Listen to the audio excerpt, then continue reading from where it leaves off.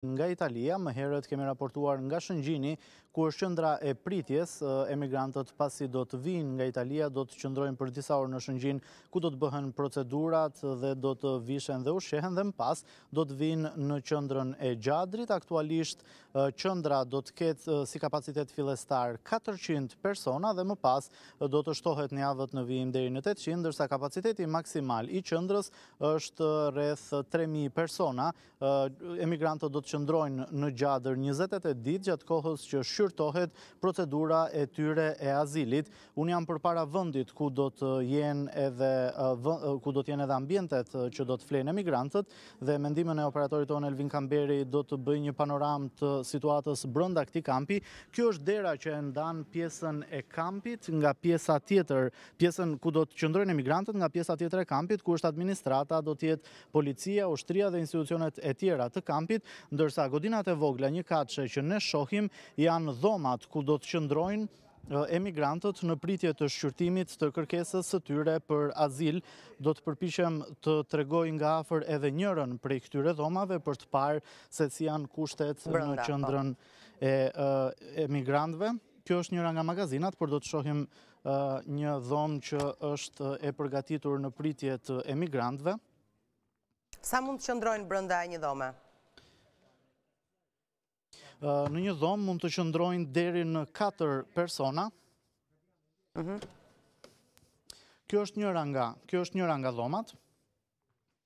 Brenda kësaj dhome mund të qëndrojnë deri në 4 persona, janë dy krevatë marinari në një po. dhomë dhe kanë një dollap për të mbajtur sendet e tyre, kanë një tavolinë për 4 persona dhe kjo është hapësira. Në një hapësirë të tillë do të qëndrojnë 4 persona gjatë 28 ditëve në pritje të shqyrtimit të kërkesës së tyre për azil, Por ndërkohë në ambientet e kampit ka edhe vende të tjera ku emigrantët mund të takohen me avokatët, mund të takohen me familjarët, mund të marrin ndihmë juridike, ka gjithashtu edhe qeli për ata që do të refuzojnë të kthehen, ka qeli të veçanta për ata që do të refuzojnë që do të bëjnë krime brenda kampit, ka një gjykatë që do të shqyrtojë këto çështje, ka një ka një ambulancë për t'u dhënë ndihmë mjekësore atyre.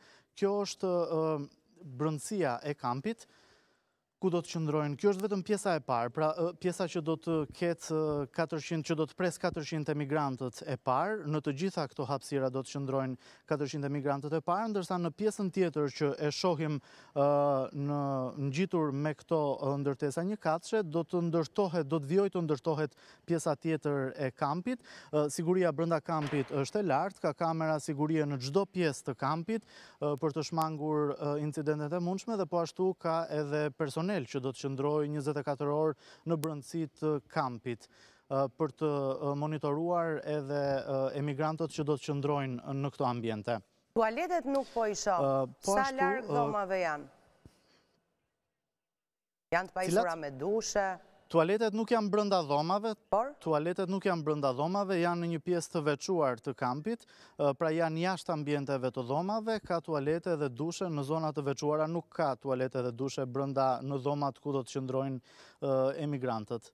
Për shkak edhe të hapësirës së ngushtë që ka brenda këtyre dhomave, është vendosur që tualetet të jenë në një pjesë të veçuar, pra janë jashtë dhomave ku do të qëndrojnë emigrantët. Emigrantët do të lëvizin do të lëvizin lirshëm brenda gjithë hapësirës së oborrit deri në pjesën ku është dera që do të qëndrojë e mbyllur gjatë gjithë kohës dhe do të hapet do të hapet kur emigrantët kur autoritetet të hyjnë apo kur të ndrojnë turnin rojet që do të qëndrojnë këtu.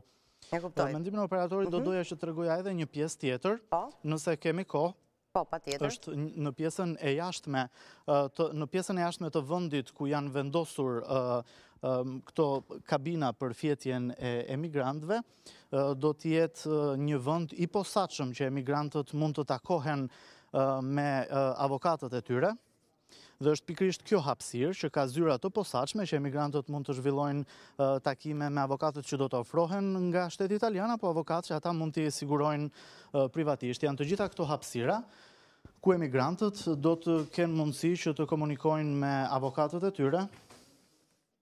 Janë dhoma të posaçme që janë ende duke u ndërtuar që do të mundësohet takimi me avokatët, ndërsa në pjesën tjetër, janë në pjesën që ne shohim janë dhoma të tjera të administratës dhe po ashtu dhoma ku do të ketë edhe kujdes psikologjik apo që do të ketë takime me psikologët e kampit, ndërsa mhm. pas këtyre janë qelitë e burgut.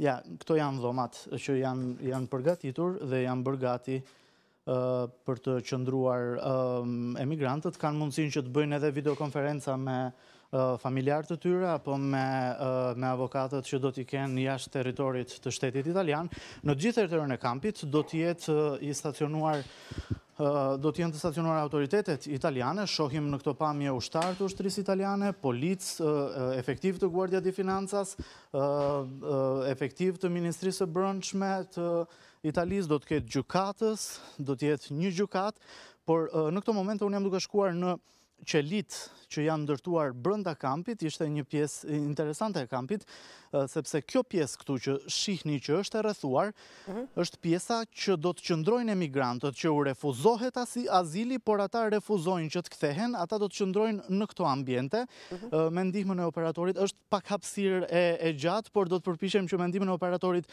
t'ju tregoj edhe njërën nga qelitë që janë bërë gati për të pritur emigrantët që do të kalojë afati 28 ditor dhe ata më pas do të qëndrojnë në këto qeli në pritje të vendimit që do të marrin autoritetet italiane. E gjithë kjo pjesë këtu që është e rrethuar me një gardh ekstra, pra nga gardhi që është gardhi i kampit, do të jetë do të shërbejë si një si një burg, po themi. Mhm.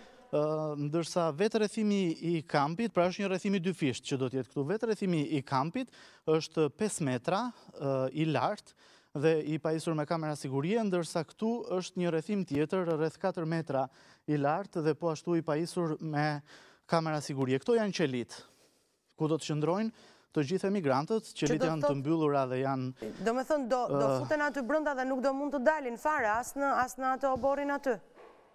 Do të futen... Në qelitë do të qëndrojnë? Jo, nuk do të mund të dalin as në oborr, sepse brenda këtyre Brenda këtyre qelive kanë edhe tualete edhe dushe dhe i kanë të gjitha kushtet dhe për këtë arsye nuk do të lejohet që ata të dalin, por do të qëndrojnë brenda këtyre qelive. Ne pak më parë i kemi parë këto qeli, por tani i kanë mbyllur zyrtarët e kampit qelitë që janë të vendosura këtu, ndërsa qeli të tjera janë vendosur në pjesën tjetër të kampit, ku është një godinë e veçantë që do të shërbejë edhe si gjykatë. Janë, e gjithë kjo pjesë që ne shohim, janë të mbushura me qeli. E kuptoj. Stafi i këtij kampi është i gjithë italian? Tre edhe tre gjashtë janë në këtë zonë, gjashtë janë në zonën tjetër. Apo italo-shqiptar? Stafi brenda kampit do të jetë i gjithë italian, nuk do të ketë shqiptarë, siguria e kampit do të jetë, do të merret përsipër nga autoritetet italiane, ndërsa në pjesën e jashtme të kampit, Vetëm në pjesën e jashtme do të ketë shqiptarë që do të ruajnë, do të ruajë policia shqiptare, do të ruajë pjesën e jashtme të kampit. E kuptoj. Pra edhe, edhe psikologët, punonjësit socialë. Me ndihmën e operatorit do të shohim edhe. Do të jenë gjithashtu italianë, do të ketë një ekip multidisiplinar, besoj, sikundër Do të jenë italianë. Mhm. Me përjashtim, Po, po me përjashtim mhm. të punonjësve shëndetësorë, po. me përjashtim të punonjësve shëndetësorë që ishin brenda spitalit të burgut, ata ishin punonjës shqiptarë, ishin dy infermiere shqiptare që po qëndronin brenda spitalit të burgut. Stafi italian do të jetojë brenda kampit apo do të kryejë punën e vet, do të largohet për të jetuar diku gjetkë? Stafi italian do të jetojë brenda kampit, por në një pjesë të veçuar nga pjesa ku do të jetojnë emigrantët, është rreth 200 apo 300 metra distanca nga vendi ku do të jetojnë emigrantët, mhm. kanë godina të veçanta, kanë një mensë, kanë ambientet e tyre për të jetuar dhe distanca është rreth dyqind apo treqind metra dhe është e ndarë me mure rrethuese dhe me gardhe të larta, mhm. pjesa ku do të jetojë stafi i kampit nga pjesa ku do të qëndrojnë emigrantët. Ndërkohë këtu shohim një pjesë tjetër që ende nuk ka përfunduar puna, do të vijojë puna deri në rritjen e kapaciteteve derisa të arrijnë deri në 3000 persona, pra që të arrijnë me kapacitetin maksimal deri në 3000 persona, sepse aktualisht kapaciteti është rreth 400 persona dhe Në fund të muajit do të shtohet, do të shkojë 800 persona. E qartë. Do doja edhe një herë me ndihmën e operatorit Elvin Kamberit po, të shohim për aq sa e kemi të po. mundur brenda brenda kësaj qelie përmes dritares për të parë se cilat janë edhe kushtet në këtë qeli. Në çdo qeli do të jetojnë katër persona. është errësirë sepse i kanë mbyllur dyert e këtyre qelive. Në çdo qeli do të ketë katër persona, qeli mhm. do të kenë tualetet e tyre dhe dushet dhe nuk do të dalin nga këto qeli derisa të merret një vendim se çfarë do të ndodhë me këta emigrantë që do të refuzojnë kthimin. E kuptoj. Faleminderit Renaldo për informacionet e përcjella në studio. Faleminderit Ola. Ndërrojmë temë. Pasi dorëzoi mandatin e deputetit të Partisë Socialiste dy ditë më parë, SPAK i ka komunikuar akuzën e shpërdorimit të detyrës Jurgis